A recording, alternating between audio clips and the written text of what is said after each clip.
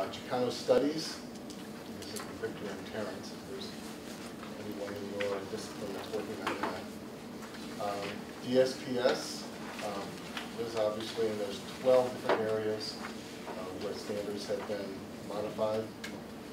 Uh, Health Services, Ms. Bell, just check with that. Uh, Learning assistance or learning skills, I don't know, oh yeah, I guess that would be Deb, right? Represents them. Kinesiology, I guess that would be Dan, Sergio. Non-credit, uh, that's adult education, I don't know if they have a representative or who talks to about that in the Senate.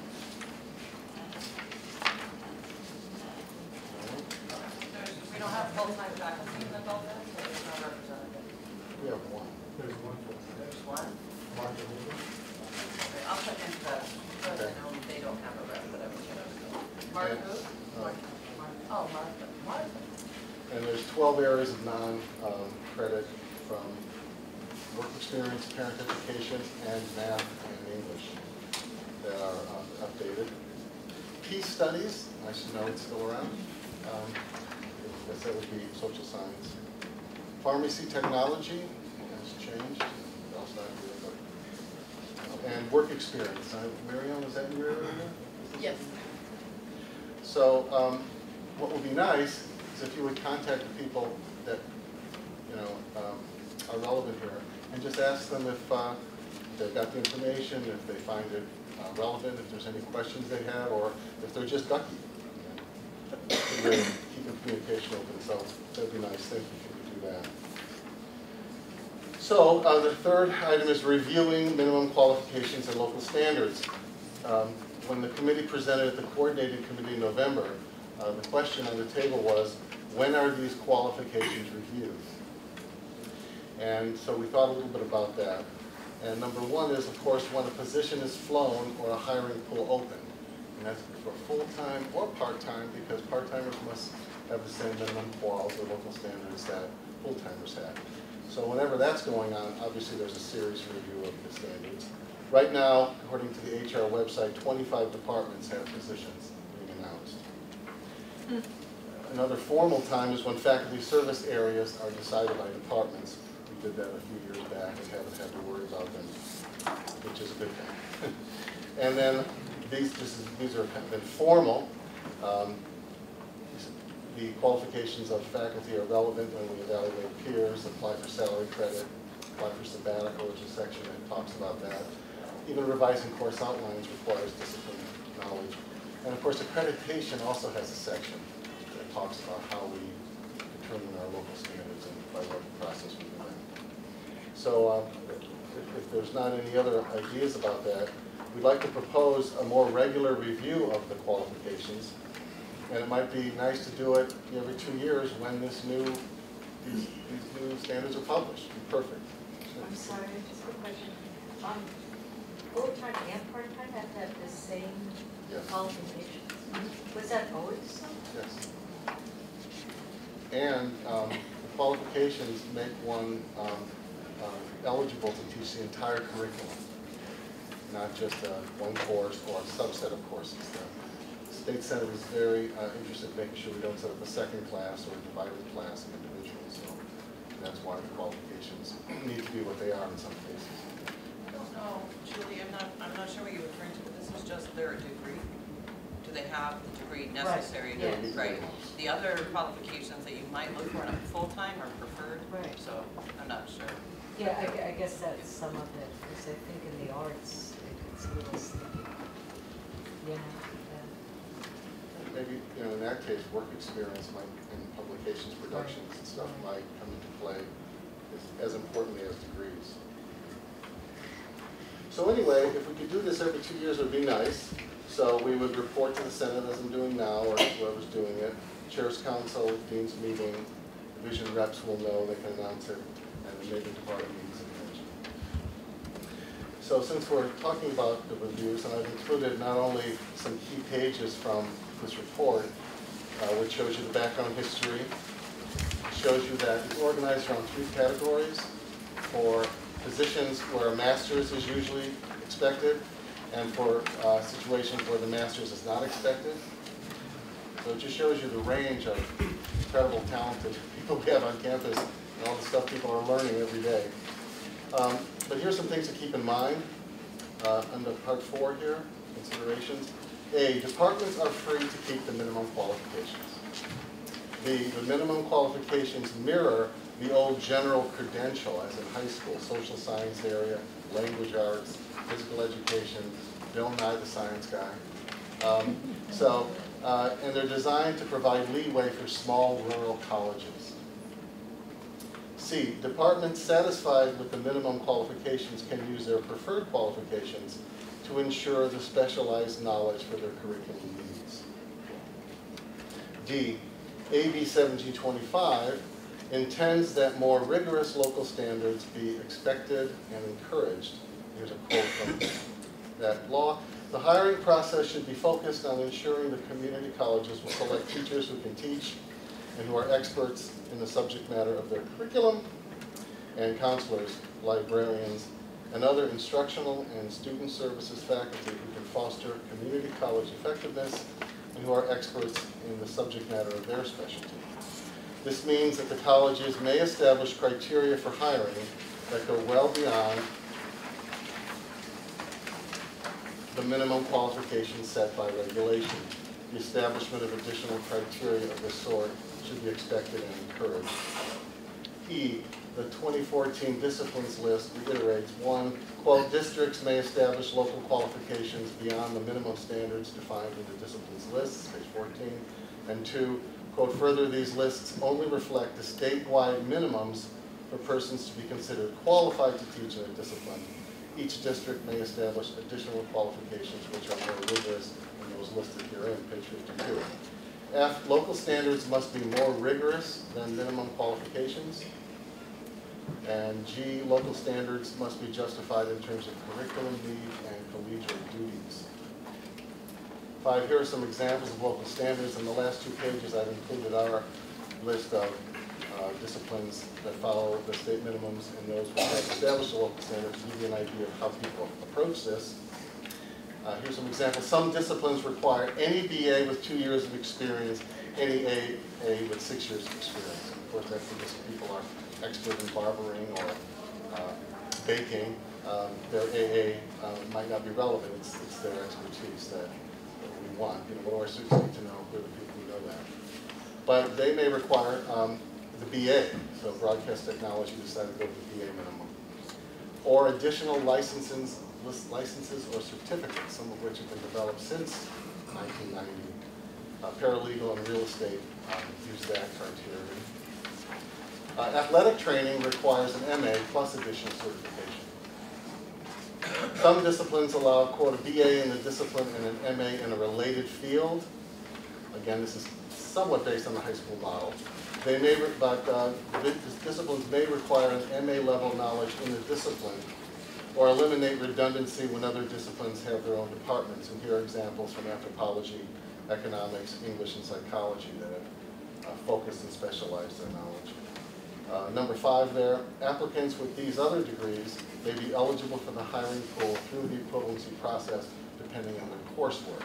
They say sociology, but they may have focused on uh, psychosocial situations or small groups, and um, one might find that relevant for your curriculum.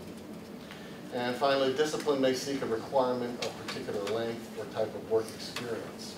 So counseling requires counseling experience in an educational setting, and administration of justice also requires local experience in public service. And you can look at the more detailed list. And I'd like to ask your advice on part three here, uh, page three. The committee is still tinkering with this, but we wonder if this would be considered a a fair depiction of the process here for our procedures handbook. Um, So I guess I'll just read it quickly then. A, the faculty in each discipline or area are encouraged to review their hiring qualifications and curricular needs and establish or revise their own local standards and/or pre-established equivalencies. And then it has the quote from AB 1725 that I read you and the quote from the disciplines list.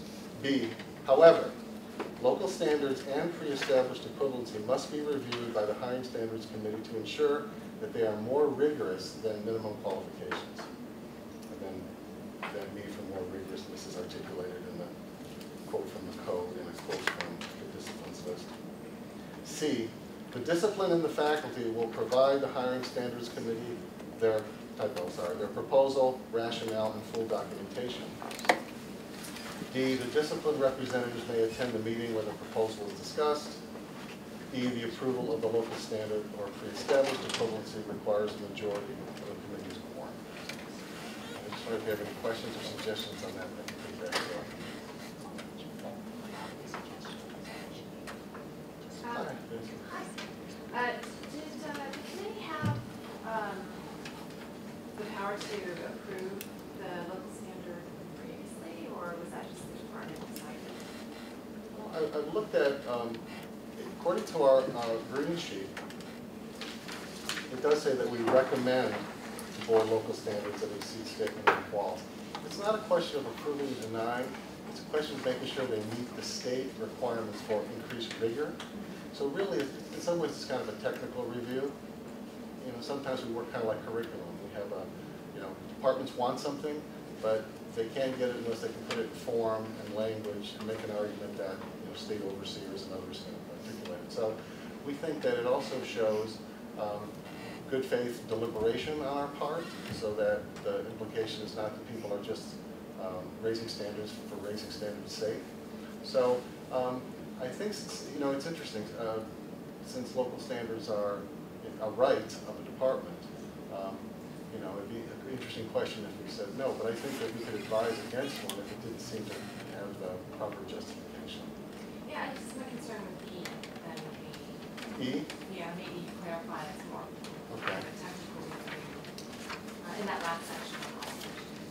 okay, great. Because otherwise it of sounds like, oh, can we just say that? So, Um, well, the the committee might advise against it. If it seems like it doesn't, if it's not justified, but. But if it's more rigorous than the qual. But that's, that's, that's, actually it's not as easy to uh, understand as it looks, but I guess they were trying to just serve the department. So I'll, um, I'll, we'll talk about that next.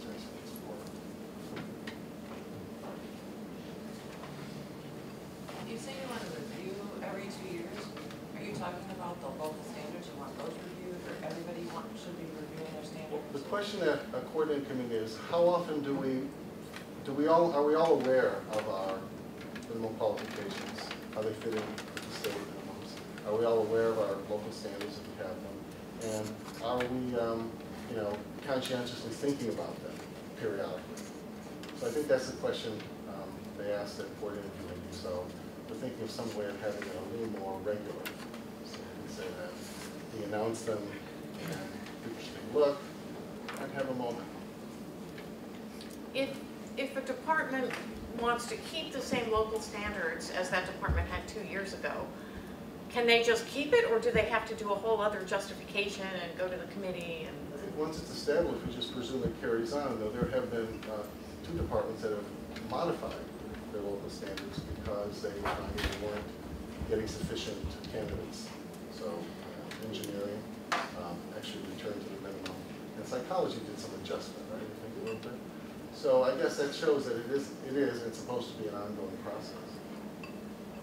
And I think that changes too, like with engineering and, and psychology. It, changes over time, because there's times when, people- where there's plenty of faculty available to hire, and then there are times when they're just, they went into industry and there's just nobody. I think it's true. Mean, things have changed from 1990 uh, in terms of, you know, how many psychology degrees we put together and stuff like that. So it would be a good idea to review local laws every two years, at least just say, yeah, we want to stick with this one.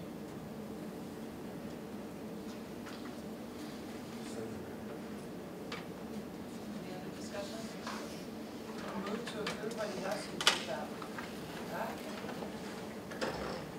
We'll, we'll, we'll get a more, we'll present a more formal You want to present something more formal later? eventually. Okay, we can wait then. Thank you so much, Greg. Thanks, thanks for the time.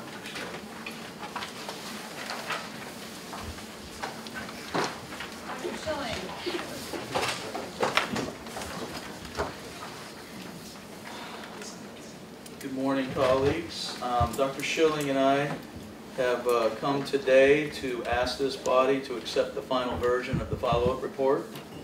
Uh, Last week, Dr. Schilling attended the meeting and asked for comments, and having received none, we have come to ask for the final acceptance. There were no, there were no comments on the website either? Oh, There is a comment on the discussion board, um, so, but it wasn't from, uh, well, I don't know, actually, we don't know who it was from, it was a guest. So, but it wasn't anything to add to the report. so there It was just a comment about the report. Okay. And then, and that's public if anyone wants to take a look at that. Um, I was just curious, so, uh, the report mentions a campus forum, uh, that took place in July? Uh, I don't recall. Campus forum or a smaller, was it just a? No, it was, No. we met in the, uh, in the uh, teleconference center, it was very well attended. You were there. It was, we, it was, yeah, it was right after. I remember attending something where there's hardly anyone there. yeah, right after the report came out. We um, asked all of the former steering committee, those who had worked on the self-evaluation, And we also invited the, the campus, anyone who wanted to attend. It was July, so a lot of faculty weren't, weren't in attendance, but we wanted to immediately have that discussion. And we passed out a timeline, um, the recommendations, and then we identified, we discussed who would be responsible for addressing each of those actions. So that was the forum. Were you there, Tracy, do you remember? I don't remember, I didn't, I guess I wasn't It's thinking all about it. coming back, okay.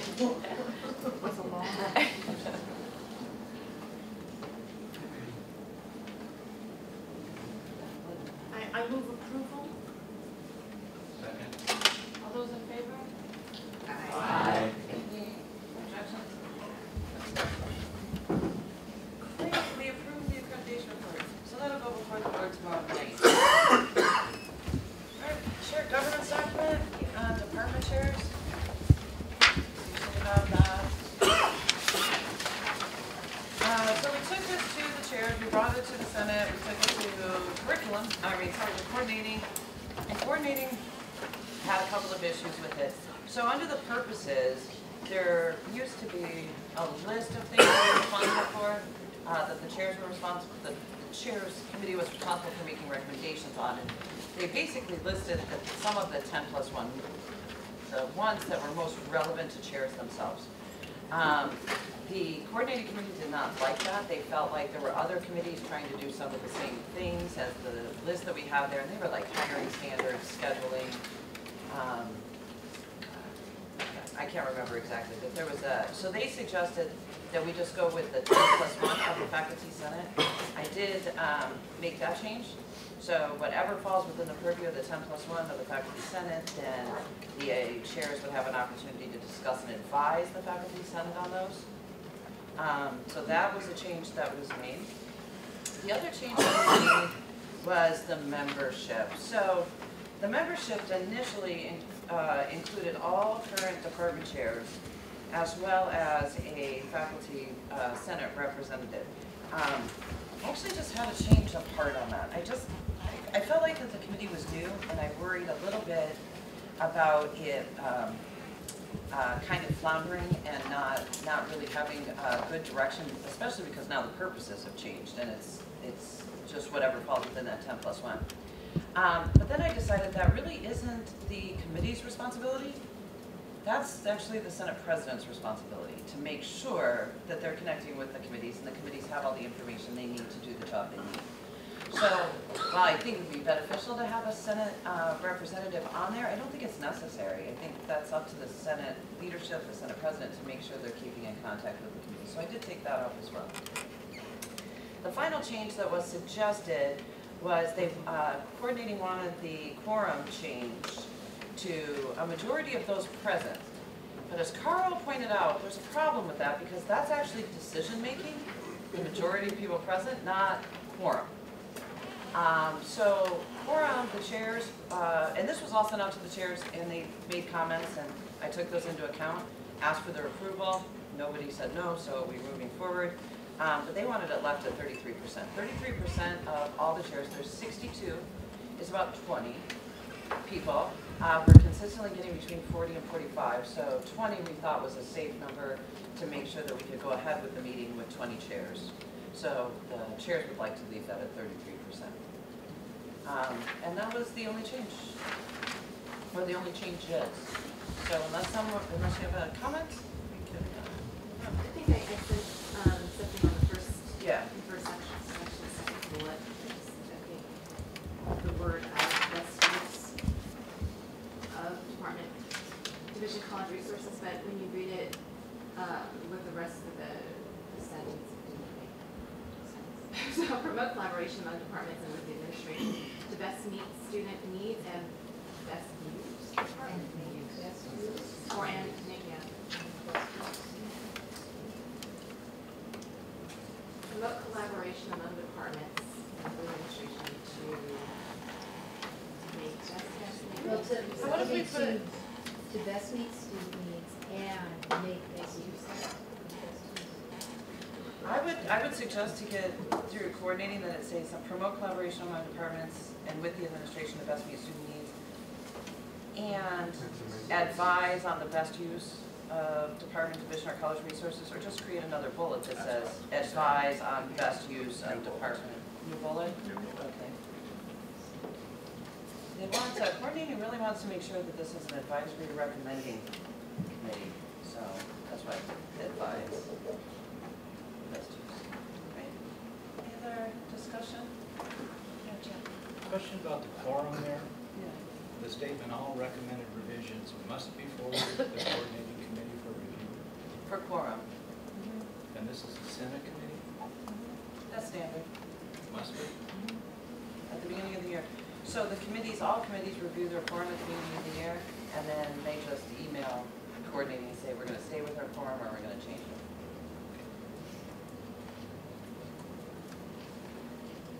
Right, do we have a motion to approve this or send us on to coordinating, are we coordinating on Monday? So moved. Second. Angela Armando, any more discussion? All those in favor? Any opposition, any opposed, any abstentions? Fantastic. So hopefully by next Monday, there will be, it'll have to go to the board on the 18th. Uh, That is information only, the board does not approve this committee, coordinating does. Uh, So we wait for the board to be informed on the 18th, and hopefully by February 26th, this is the committee and can elect their own chairs at that time. That's what we're hoping for. Um, Great. Uh, Dr. Johnson's going to be here in about 15 minutes. Uh, He had another meeting to attend, so we're going to postpone him and move on to issues and solutions for online instructors. I am not an online instructor, so I'm hoping you guys have issues. Well, I hope you don't have issues, but. Uh, Yeah. I am currently teaching two online classes. Um, I think one of the biggest issues would be knowing if they're attending or not. There's no way to know if they've even logged in. You see them there, but you don't know if they've logged in, how many days they've logged in. Um, There's no way to know if they've completed your lessons either. There's, there's absolutely no way. I, I do discussion questions and they're linked to lessons, but sometimes they probably could just kind of like fake it and get through it. Um, so I think those would be the two biggest issues. Please. Are you using um, Talon Net? Yeah. So Talon Net, under the statistics feature, shows you who's logging in, Oh, okay. how much they're logging in, what they're using. It shows the most frequent user, I mean, it tells you how many times they log in per week, if you want to get down to that, you know, micro That's cool. level with that. But it's under um, site editor and statistics. Okay, cool, thank you. No, there's, there's nothing that's gonna show me if they've completed lessons or anything, right? It's just showing me how many, like, how often they've logged in. It'll show you how often Okay. you- you've logged in. Thank you. If I could add something to that, I use the assignment box. Okay, So I have them submit their assignments to the assignment box and I make them check the honor pledge. right. You know, that just kind of keeps them, Yeah, you know, it keeps There's the honest that. people honest. Sure. That's all it is. And I, I developed a chat session that I have once a week and I make it mandatory. There's no extra points for it. It's mandatory. It's like attending class and I tell them that in the very beginning. alright. Thank you.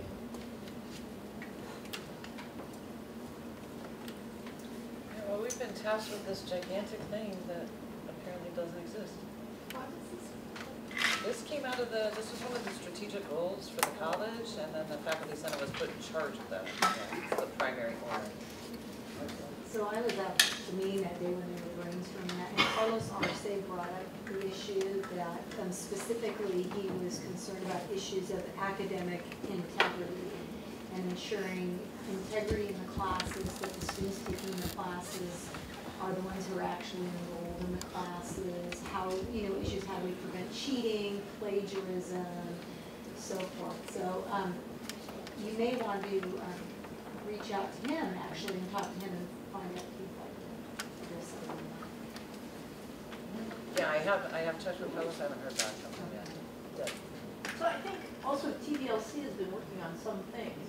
I, I didn't, you didn't invite them today, but, you know, that quality matters rubric for, for sort of assessing the quality of courses and I, I think if they're, if we're unhappy with some part of Callan, that, I mean, that's our committee that should be attacking that. So I don't know if they might have more for your list, I guess I'm wondering. And that's, um, that's Monica? Uh, Stephanie is the chair. Stephanie, Stephanie, I'm sorry. Mary Ellen.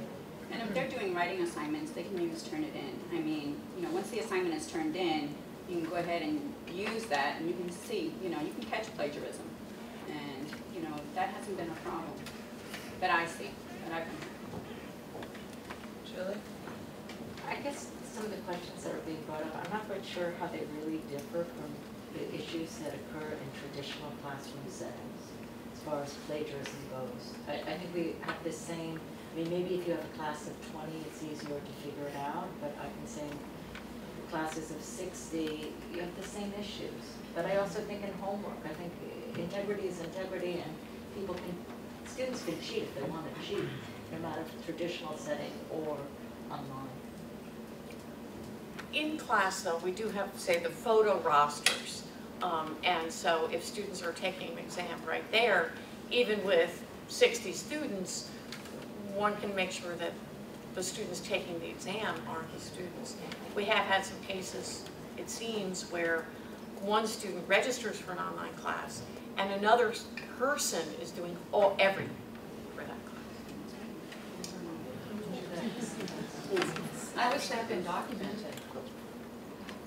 Um, There was something with speech, right, Angela? Ah, okay. Yeah, it, it, I mean, it was something, it, it was actually something happened in one of my online classes where, um, and, but that was a, a very, a bigger issue where students were, the students enrolled in the class were not the students completing the work. This tied into a bigger issue that was affecting online classes in Southern California, that there was a young man who started a business and he was, uh, you know, recruiting clients and completing their online, and his employees completed their online classes for them for large, large sums of money. And um, I believe it originated at Saddleback College. But, you know, you get a good business model and people start copying it. And so, um, in that case, the guy who was in charge of the issue in Saddleback College, he's been arrested, charged, sentenced, and serving a prison term for that. But that model exists other places, and in online classes, you have to really be paying attention to try to um, document that. And the way my case found out, um, I knew the students were international students, and I went to International Student Services at the time to find out what was going on, and found out that one of the students taking my online class, who supposedly came to my live orientation, has actually never even set foot in the country. And so someone misrepresented them at the orientation and it just led to a snowball. And So it was documented and reported and in fact, eventually I think uh, even Homeland Security looked into the issue. Yeah. Yeah. Yeah, two individuals have their visas revoked.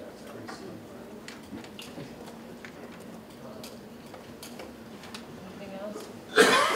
The only other, um, the only complaint that I've really heard has less to do with students and more to do with the faculty teaching it. Um, and I think this is true, uh, even at face-to-face, who faculty talk about this, you know, so-and-so is not doing as much in their classroom as I do. Um, and that's what I've heard a lot of. I have talked with, um, Solomon about that because, um, in order to ensure that the course, so legally, all we can really do um, is we can do, part, make an online class part of the evaluation and evaluate their teaching as according to that online, uh, according to that evaluation form, which we don't currently do. That's not required for online. Um, if you're evaluated and you're teaching three face-to-face, they can evaluate in those classes, not in your online classes. Um, but there's, um, there was another issue. That's not necessarily true, because I teach online classes, and I got notification, again, in Anthro, there were problems and we had to bump our, our evaluations to this semester. But, um, my online classes, um, the, you know, there's a request sent out to the students in the online class to fill out an evaluation on, Faculty evaluation, no, peer evaluation. oh, peer evaluations. Peer evaluation. Okay, sorry. Right. Um, so there's no peer evaluation requirement. Now, instructors have turned, uh, asked their evaluation team to review their online material. Um, but that is not required, uh, by the union. In fact, it doesn't even say anything about online or not online. So as a result, uh, the way the, the contracts are written about evaluation is it's very vague. So there's no way to actually ask uh, a faculty, can I evaluate your online class? They kind of have to offer uh, to allow the evaluation team to do that. I'm not sure if that's the way we want to go, if we really want to get that nitpicky. I have talked to Solomon about it. Um, But again, these are complaints coming from online teachers about other, and they're not names, they're just, I know that other people aren't doing what I do in my class. I don't teach online, so I really don't know that much about it. So this is news to me because every time I have an evaluation, if somebody has an online class, I ask them to add me to the class and then I can evaluate. We do. And and I, I mean, I've just always done it, so I didn't know that there was anything to the contrary. There's not anything to the contrary, that's the prob, that's the issue. The, the evaluation article, when you read that, there's nothing in there about online classes. So, a faculty could say, that's not in here, we don't have to do that, and faculty have said that. Wow. And that is accurate, because there's nothing in the assignment article about online classes. They can volunteer, I think someone had mentioned, um, something, didn't one of you over there mention the, the, the thing that TVLC was doing, the, Oh, well, So so that's starting to have this quality matters Right. review that would be available. right, Not, that's not necessarily in their Right. peer evaluation, just if you would like to work on a class. and that's voluntary. Yes. So I don't, um, you guys can think about that. Solomon's not here today, um, but uh, you can read the evaluation article yourself. It says nothing about online classes. Does it need to though? Well, I don't know. If it's talking about your courses, your classes, it does it have to specify whether you're talking about ones in a classroom or in a, in, in online? I don't, I don't teach online, so this really isn't that much of an issue for me, so I don't, I don't know. We only have one online class in our entire department. If, if a peer evaluation team wanted access to the online materials and the faculty member being evaluated said no, I think that would merit and needs improvement even under the current system. uh, When it comes to, you know, fulfills responsibilities, has positive relationships with colleagues. I mean, we have items that kind of cover that. Yeah, my, I, we do the same thing, I, I've evaluated online instructors before, and, um, I've never heard of anybody saying no, but it seems like if they did, I, yeah, it's part of the process, you could ding them. I have not heard of anybody saying no, but again, when I talked to Solomon, there's no provision in there that says online courses, so. But is that something, I guess, when I hear you asking the question, I'm presenting the fact that you're talking to someone about that, I, I agree that if somebody says no, I think that it, it- you know, it's, it's not a good thing in that peer evaluation process in general for that person going to continue. Uh, from a grievance standpoint, yeah, you can't really, if it's not in the language, you really can't, um, hold them accountable to that. But in terms of looking at our evaluation process, it is part of this body's purview. So, so I, I don't know, what you're asking is, do we want to have a more formal conversation about that, to have Solomon here, to make sure he's here? Um, a- a- And, then to really look at that, because it seems to me that if is going through and load is five classes, and two of them happen to be online, that we're only going to then evaluate them for three classes, and two, they really have no, I mean, it can go either way based on what you're saying scenario-wise. I think, real quick, Angela, I think some of the problem too, um, I, in, in my department, we only have one. So one full-timer teaches, I think, two online classes of the same class, but we wouldn't even know how to evaluate that And because we don't teach for online, right? So the evaluators have never asked to evaluate that online class because we wouldn't know what we were doing. So Well, and then that's just- another issue. Go ahead, Angela. Well, I was gonna say that I think again, this comes in play, going back to what Julie said, that we've gotta stop treating these as different classes. That the language in the evaluation suggests that we, evaluators can't evaluate by visiting your class. Your online class is another context, another setting. I should be able to go and look at that.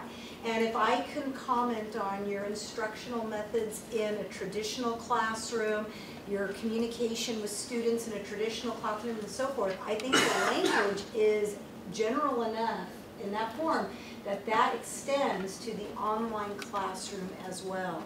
Now, I have heard anecdotally of faculty who got written up in their evaluations because of online materials and fought it on the basis that the evaluation form does, makes no mention about online classes, but I actually think it's a fallacy of language. It's talking about classrooms and our teaching, and I think it should extend to both. Yep. The only other issue that I have heard, is there any more discussion on that issue? So we can re-agendize this and uh, have Solomon speak to this as well. Um, Is um, the training process for actually becoming qualified to teach online. And I've heard lots and lots and lots of complaints about this. Um, It's about hundred and fifty hours is what I'm told. I've not done it, but I'm told it's about hundred and fifty hours. Four years learning. Can I just say, she's not here, is she, Cynthia? She's not here. Um, I, I, I just wanna say that when I finished the training, I, I didn't feel like I knew how to use the site at all. I didn't know how to use the site until I looked at a colleague's s- site. Um, I felt like the training was not, um, showing me tools, like really the great tools that, that, um, Talon Net can do. Uh, because it's a Sakai platform that was taken from Etudes. Um, and so when I took a like fifteen week course on Etudes, then I learned how to use Talon Net better. Um, and it was only then, and, um, also the Sakai is really not, it's, it's ugly, it's boring, you can't change it, but whatever, that's just like my personal thing, but I don't the training, the training needs to be changed. It Needs to be more, I mean, what I got from it was a lot of copyright stuff, which I already know about copyright. Um, and I didn't get enough, like I said, enough knowledge on how to use the site and really make a really great website. I, I feel bad for the class that I taught right after I took training because it, I feel so sorry for them. It looked awful. It looked terrible. And then I took the Etudes certification and it looks so much better now. So, We're also moving away from Talon Net. are you to where? Don't know. We have to get more certifications. no. Michelle, where's, where did you hear that? There's discussions going on about moving it. so- That would be a TBLC discussion that I don't think they're at. I mean, the state is working on a platform, Yeah. who knows? what- Right, right, the state is working on a platform. You know, I, I apologize, I wish I felt better. I know I know this, I just, I'm not accessing it. Okay. I wanna say that it came from Rick, but do not go and say that to him, because it might not. Um, Uh, I really don't remember, but I will check into where I heard that at, but I think you're right, it came from the state. Uh, the state wants a consistent platform, um, but I, do- as far as I know, they're not gonna force anybody to move into that platform once they do it anyway.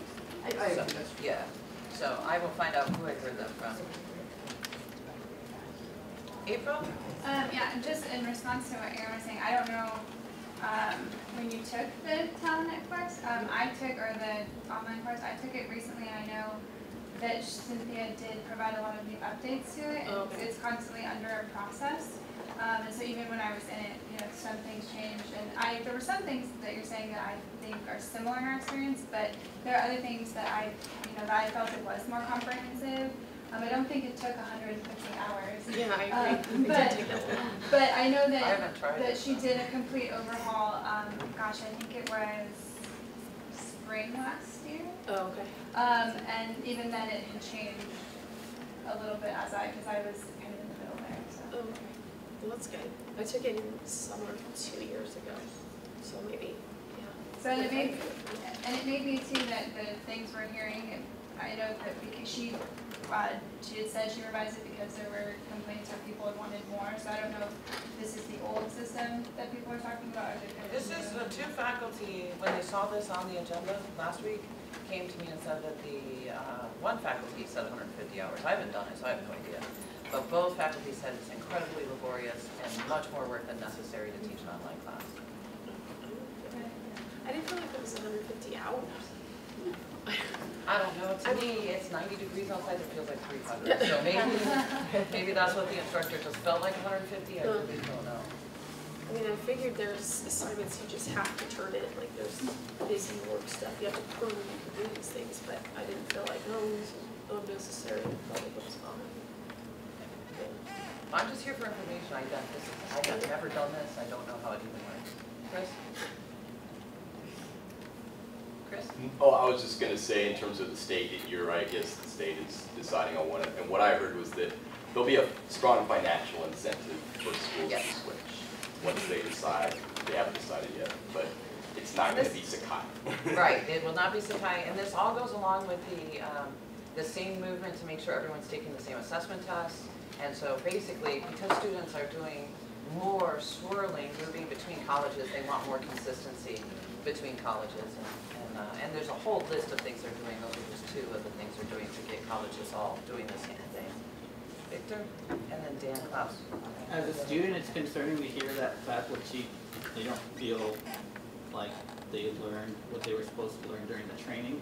Like you had mentioned that, you know, it's, you, you feel bad for the class, and as a student, that, you know, that's putting students' grades and possibility of transferring at risk.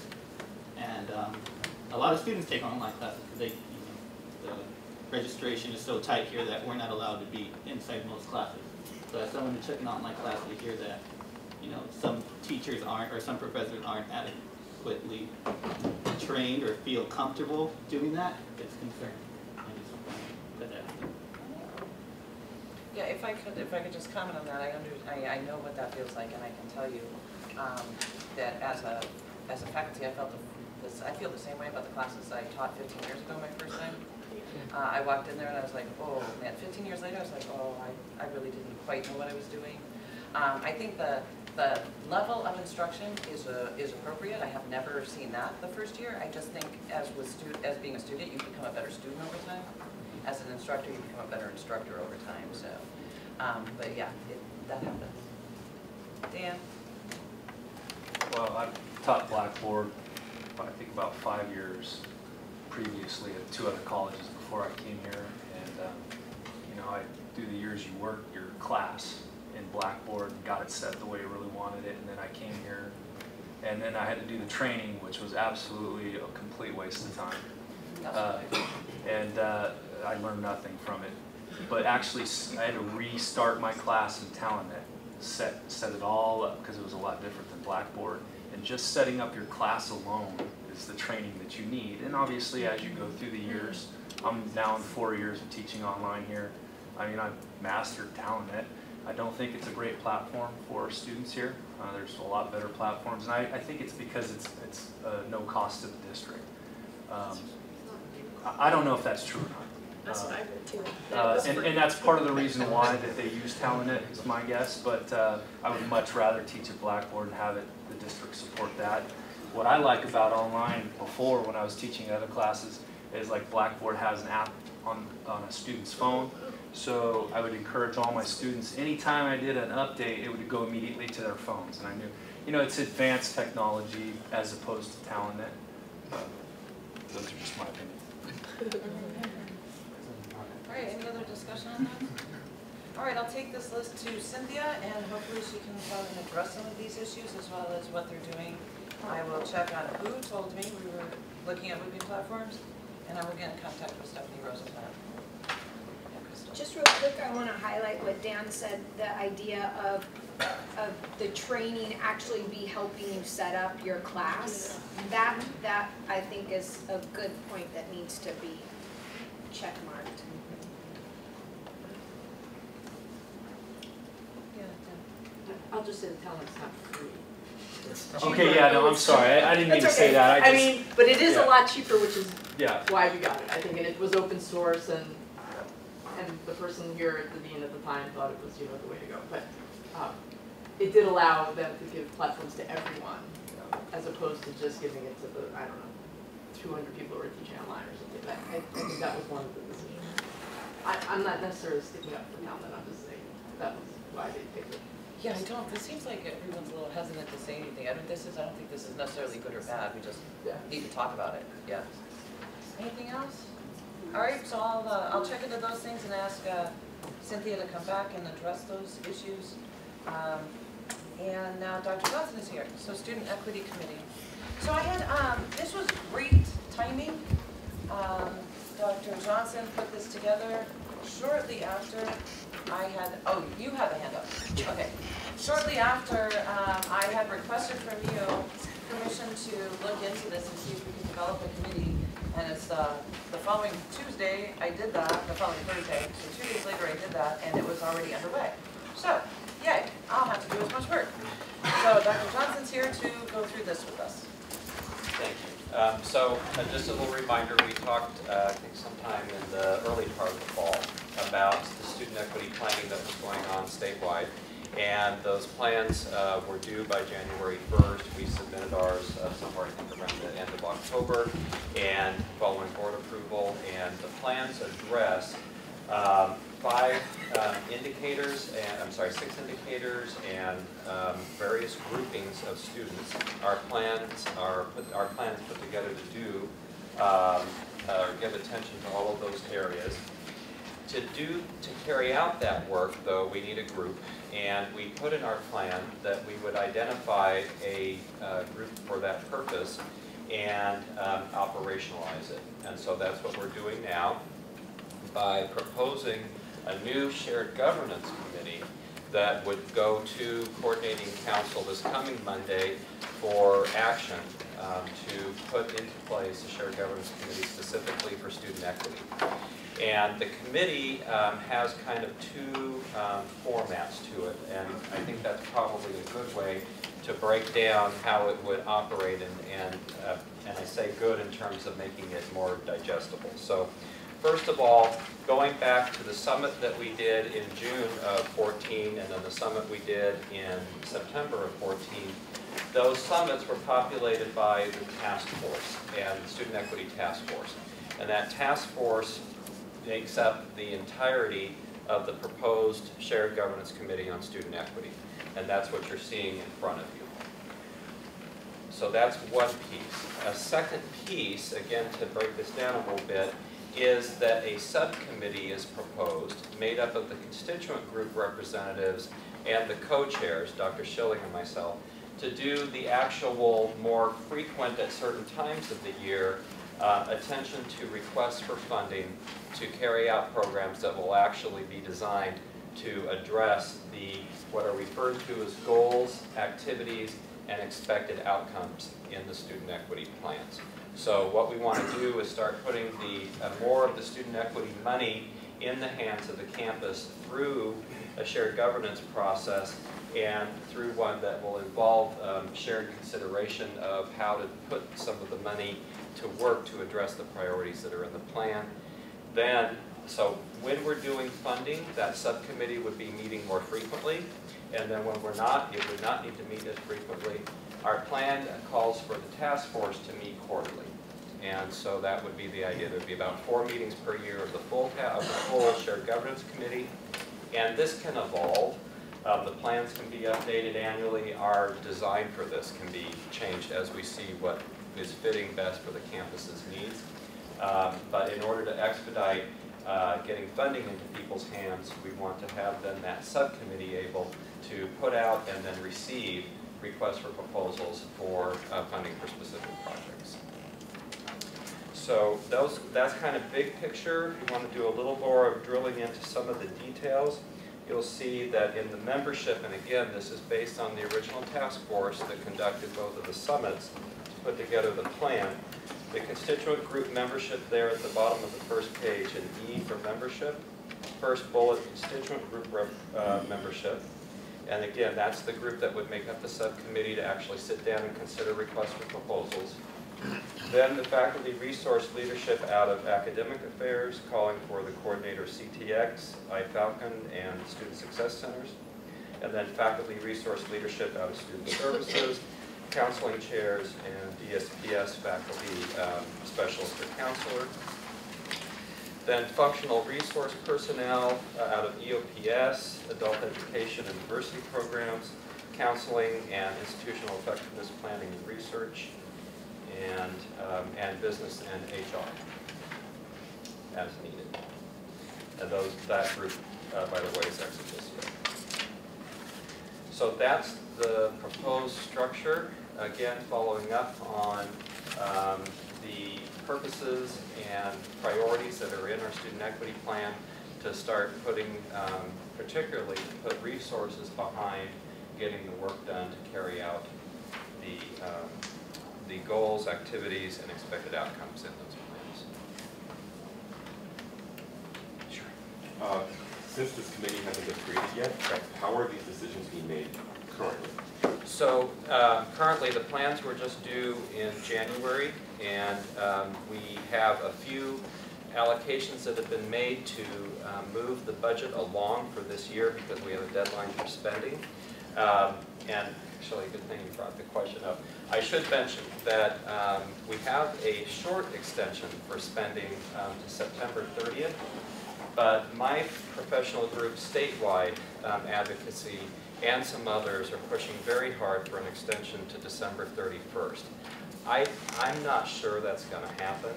Um, and we've had to operate, of course, originally as if we expected the deadline to be June 30th. And then the extension to September 30th went back and forth, there was discussion, and then we got um, indication that it was approved. Um, whether or not this uh, very strong move to move it out another three months will happen, we don't know. Um, but in the meantime, we put into place uh, funding uh, for different projects that will help move some of this money along. We still have um, chunks to go through, even for this short time period, that once we get the committee in place, it can sit down and look at requests to get some money going in the few months we have left. And then realistically, we'll go to a different kind of calendar in subsequent years. Right now, that, that subcommittee would need to meet to do funding here in the spring, but ordinarily, we'd want it to be in, a- here in the early spring. Ordinarily, we'd want it probably near the latter part of the spring or mid-spring, prepping for money that can be released July 1st of each year, and then that would need to be um, spent within a 12-month period. So this year's going to be a little bit different in terms of expediting uh, the money into resources that will directly benefit students. And then in subsequent years, we're probably looking at a, a request that would go out to the campus for the committee to start working on those mid, probably mid-spring so that it can get decisions out to folks before they leave, and then the money can be released July 1st. Okay, but currently, how are decisions being made? That, who's actually making a decision currently to steer the funding to specific? Oh, okay, so executive council has had to look at some major projects that um, went through, um, and I, and I shouldn't say only executive council. So in last year's uh, unit division and area planning process, um, we knew that money was coming along for not only student equity, but 3SP. And so when we did um, institutional allocations for funding specific projects, um, we, we were able to point to 3SP dollars for certain things. That's a much more limited um, scope. Um, 3SP is highly regulated. Student equity is broader in terms of the allowances, so we had a little more latitude there. Um, but then those um, allocation recommendations, and again, it could have been from 3SP, student equity, general fund, vintage funds, or some other special um, resource. I think there was a recommendation to ask ASCC for assistance with one, of, one or two of the projects. Anyway, those went through Planning and Budget Committee and Executive Council. I, um, uh, the faculty resources leadership, the, I'm not clear on why CTX or Falcon would be in there. I do see the, the uh, Student Success Center, um, but I would really prefer that that CTX and iFalcon coordinator not be ex officio. but part of the faculty seats, increasing that to three, of which that can include the CTX or iFalcon, I'm not, I don't see a direct relationship between student equity and those two. Okay, so I pro- I probably should say um, that, by the way, the ex officio designation, um, um, I know sometimes in some bodies that takes away a vote. Um, It's not intended to take a vote away, if that's a concern. I don't know if it is, but it's not. Um, But the um, thinking there was, had more to do with, there's a, an element within, well, there's some carryover theme, theme, I'm sorry, from 3SP with regard to staff development, professional development. And um, we also are considering that for student equity funding, and from that aspect, we thought it helpful to have CTX. But you've already, you've already got the, you've got the vice president of human resources on that. Right. So staff development isn't specific to the CTI. No, So no, that's just, where I'm not seeing the direct line between the CTX being representing on the student equity committee. Why that couldn't just be an additional faculty. Yeah, Because you've got, the as far as staff development, you have the human resources right. vice president. Right, okay. I, I, I, this was the, um, again, this was the, the uh, membership and the format we put together for the summits. And again, the thinking was that people who are um, close to the ground in terms of doing the kinds of priorities that were anticipated in, in not only student equity. Student equity, closing the achievement gap funds came about um, uh, probably worth stepping back a second. If you recall when I talked to you all in the early part of the fall, um, I specified, and I have been saying it to a number of groups because I think it's worthy, I'm not singing to the choir with you, I think it's really worthy of pointing out that it was the statewide senate over the years that kept stepping in when all of the new performance requirements and expectations for student success were being talked about it was the students, it was the faculty senate statewide that said, hey, we have to pay attention to student equity. And we've got to revive that process and we've got to get that as part of what's happening with loss of enrollment priority, requirements for mandatory AOC, um, coming up, loss of BOG fee waiver eligibility and so on. So, um, so that was worked in.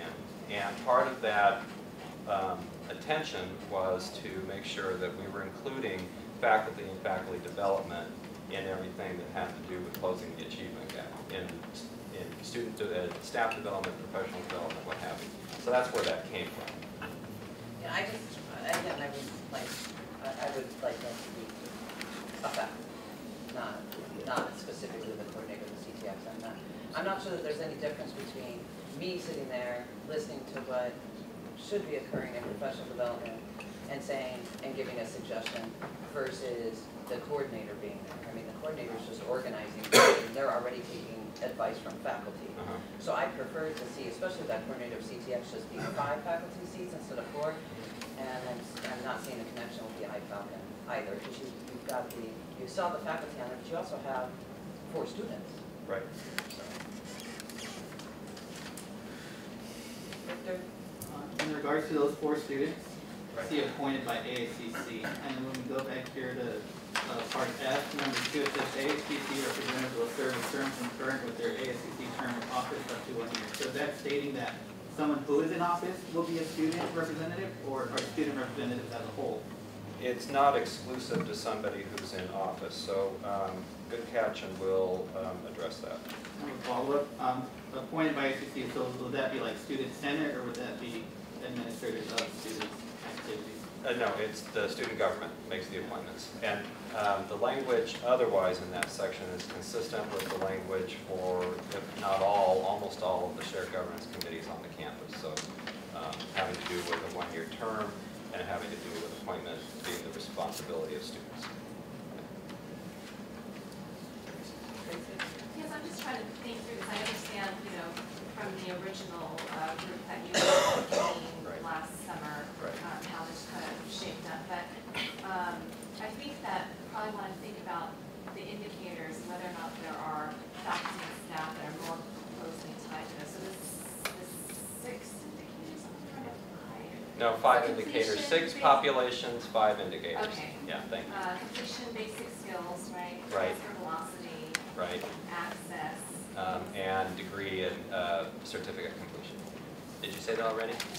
Okay, so it's access, course completion, Oh, degree and certificate complete, okay. Um, okay, so I think I just want to kind of think through, so when I think about basic skills, for example, then maybe there ought to be, you know, specifically someone represented by the English, or represented the English department, or, you know, ESL or math, Right. like someone. She's dying to do this. I think He she's just added his perfect. name to the paper. Uh, I would agree with you, and I think it's very similar to what we do with enrollment management, so we wanted very specific faculty on that, where we said we wanted a counselor on there. I would agree with you. I think maybe those four, hopefully six faculty would then be outlined as to, it should be someone from basic skills, someone from transfer. Can I answer your question, Dr. Johnson? Sure. When we talked about, um, just identifying the- the goals, the activities, and expected outcomes.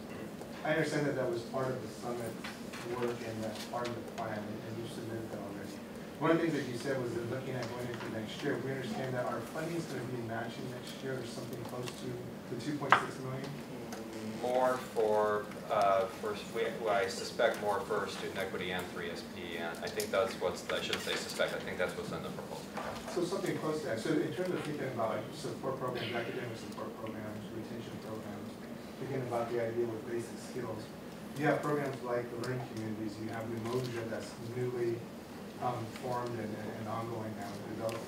There's a need for that kind of support though, and like a real detailed conversations about how to really help these programs, you know, Right, succeed. right. Yeah, when they're going. Right. So when you talk about allocation of the access to the money, the criteria for that, is that, so who's gonna generate that criteria, and how is that gonna be communicated? Um, um, That's one of the reasons why the full committee um, is so important, because it can bring, um, uh, you're getting at pedagogical issues and how we, um, how we're addressing, carrying out the, the um, goals, activities, and expected outcomes.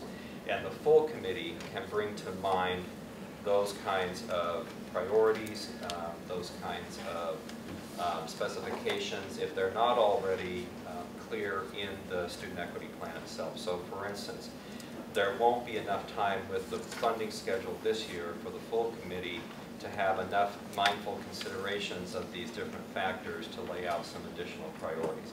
So we will rely on what we put into the student equity plan itself for priorities in this first round of funding. And then in the future, those, those um, goals, activities, and expected outcomes still need to be leading the way, but the committee can talk about um, pedagogical issues, implementation issues, um, programming issues, service issues around the campus, those kinds of things that will help uh, inform the decision-making of the group, the subcommittee that would make recommendations on actual funding.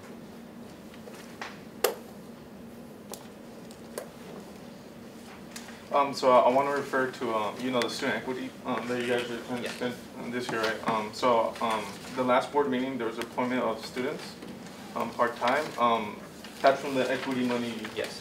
Okay, and the decision as, as far as, um, you're saying was from the executive council, right? The, um, the funding recommendations um, were, that went through planning and budget were more general than that. Um, So it wasn't specific to that particular allocation. Oh, I don't, um, I have two more. If, I- I'm sorry to interrupt you, Michelle, I just should comment that, remember that, uh, for those of you who weren't um, privy to the discussion in the board meeting, the um, decisions that were made there were to support student engagement as a component of student equity, so, background, sorry. That's okay, I just have one other question. The DSPS faculty specialist or counselor, um, they don't have a chair? That seems like that should be a consistent chair. Um, Yeah, that, Maybe they should, yeah, should have I a don't, chair.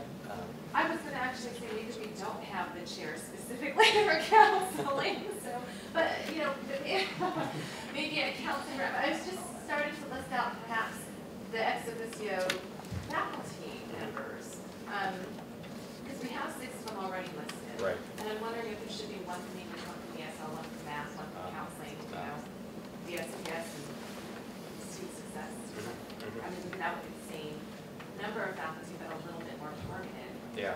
Uh, advertise to make use of it. That's a good idea too. It, it just seems very obvious you've got chair, chair, and then anybody. well. And again, I know it's because of who, who, you know, we worked on this last year, right. it just happened to be right. this Foltz, but. Right, okay, sure, sure. And I think the, the uh, discussion's good, so. The idea is to get the expertise in there, again, for the very kinds of discussions I was referring to whether they're service, programmatic, pedagogical. um, Victor? I'd just like to go off what Dr. Johnson said about um, the funds that were used for student engagement, that um, from the view of the students and student senate, it was, it was an executive decision to appoint two students that they thought, or they saw in their own opinions as head of student engagement, that they're the ones who are more likely to be student engaged. And um, it'll be in my report, but that student senate does not agree with that. And um, there'll be conversations tomorrow during student senate with that. Is it possible, rather than making, um, uh, it seems like there's still an awful lot of questions, so maybe if we go to coordinating, uh, is this going to coordinating on Monday? Yes. We can get some recommendations and bring this back on Tuesday based on what coordinating says. Um, Or if you want to take recommendations into coordinating, if we resolve it on Monday, then that, because I, I, I don't know that people are, you know, um, that this is that selection. The point is to get faculty resources who can bring subject area expertise to the group. Um, It's not more than that, so. Because I'm really liking Tracy's idea. Yeah. Uh, The same kind of thing we did with enrollment management, we had Right. specific faculty that the Senate then appoints from that group. Right, and Tracy's point is getting at that very point, the Yes. subject area expertise, maybe look at it differently, um, so, gets the job done. So are there any objections to me taking these recommendations to coordinating? Thank you. Reports. Thank you so much, Dr. Johnson. Thank you very much. Uh,